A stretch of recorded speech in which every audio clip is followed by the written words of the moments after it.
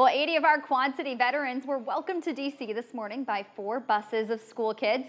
This was the Hy-Vee Honor Flight's arrival at Dulles Airport. The students were carrying signs, flags, and had lots of cards and different decorations.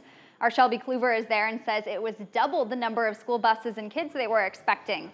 This is the 14th Hy-Vee Honor Flight and the 60th overall for the Quad Cities. And coming up tonight at 5, we'll show you their first stop in D.C.